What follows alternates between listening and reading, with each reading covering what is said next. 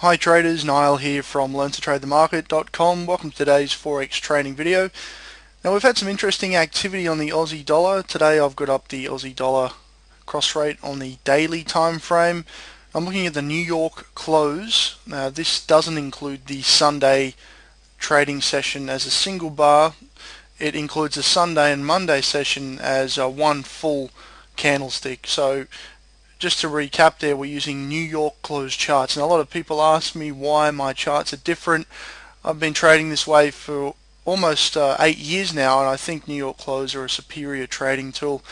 And uh, for those using GMT charts, I think if you move over to the New York close uh, time frame, you're certainly going to be seeing some of the signals that I'm looking at. So just to uh, answer some of the questions I've been getting on the email, that would uh, certainly explain a lot of the problems that you're having trying to find these signals that I talk about. Alright, so let's look at today's setup that I've found on the Aussie dollar. Obviously, this has already happened. It's an after the event hindsight example. Uh, any information here is obviously just education, not trading advice. I think it's probably too late to be getting onto this one anyway. But uh, we'll have a look at it. It's a daily pin bar reversal with a 50% tweak entry. We've got a nice uptrend here. It's a pretty obvious trade actually. I thought I'd just throw the camera on and talk about it. We've got this uptrend line which is very obvious. If I take the chart in and zoom in you'll uh, quickly see the signal that I'm talking about. It's one of these famous pin bar reversals that I keep talking about. It's a very, very uh, accurate reversal indication. Uh, we had one here and we've also seen uh, one in here it was an inside bar pin bar and we've also seen one here. So three setups have been profitable here all with the trend of course. I advise uh, beginner traders to trade with the trend only. You can see that this recent setup here is quite a powerful false break. We had a, a false break of the trend line.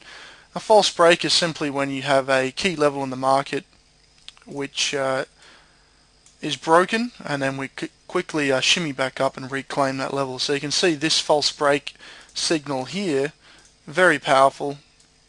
And the market opened up on Monday quite weak in fact and we moved down to the 50% area of this candle. It's not Fibonacci, okay? It's a simple balance point of the range of uh, Friday. So we moved down here and then have started to move up through the highs of Friday. So that's a bullish setup, one of the proprietary setups I talk about in the trading course and certainly uh, one of those setups, it's a bread and butter setup, obviously you'll be taking these quite often on the daily charts and when they appear as a false break signal against a trend line or a moving average or a support level they're extremely uh, profitable and you can just see how profitable they are.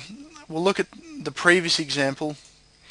You'll notice this right here on the trend line this pin bar right here resulted in quite a significant up move. This one in here another significant up move. Now I'm not saying this one's going to take out these highs but it certainly looks quite bullish. If you were to get long here your stop loss could be below that low. I'm not sure how wide that is. It's quite tight but your target would be simply a measure of your stop loss placement. Another way is to actually expand the range of Friday's candle so if you're using the range of this bar, let's say it's 150 points, we might look at two times that range. From the entry here, we could look for 300 points of upside, which should be what 91, uh, let's say up towards 93. So somewhere in here could be the exit point. I'm not sure if it's going to get there, but obviously got to take the setups as they uh, unfold. So that was just a, a quick video on the pin bar reversal buy setup on the Aussie dollar using the 50% tweaked entry, obviously an advanced price action strategy that most uh, overlook in the market, but a very profitable one that I've used for years. And uh, as I said in the last video, I've revamped a lot of the course content, 100 new pages, trying to focus on uh, that whole start to finish from beginner to advanced. I'm really going to be improving that over the uh, Christmas period and I should be launching up to 20 new uh, tutorial videos that explain all the stuff in depth. I think the first time round I did well but I want to really improve on that. And of course members get a free upgrade there. It's all included lifetime membership.